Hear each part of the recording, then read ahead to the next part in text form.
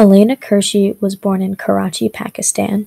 She moved to America with her mother at six months old to be with her father, who had been adopted into an American family at a young age.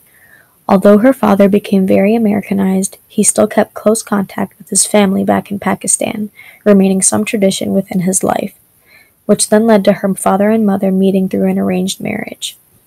Since both of her parents came from different backgrounds, her mother being very traditional and her father being very Americanized, growing up, she had a fairly normal American childhood.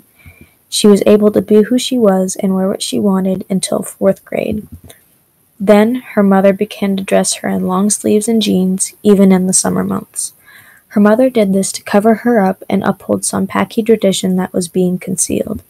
Alaina didn't understand why she needed to cover up, so she started to bring extra clothes before school and change in the bathroom. She didn't do this to rebel against her parents, she just felt the need to fit in with the other kids.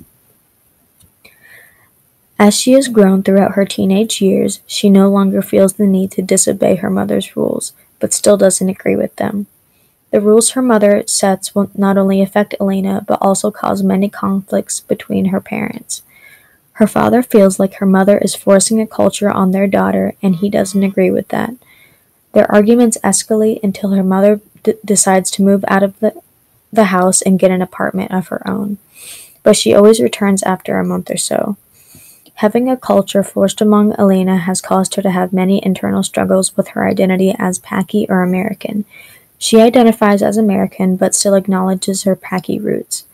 When she grows up, and if she ever even has children of her own, she plans to educate them on their heritage but not force any traditions on them.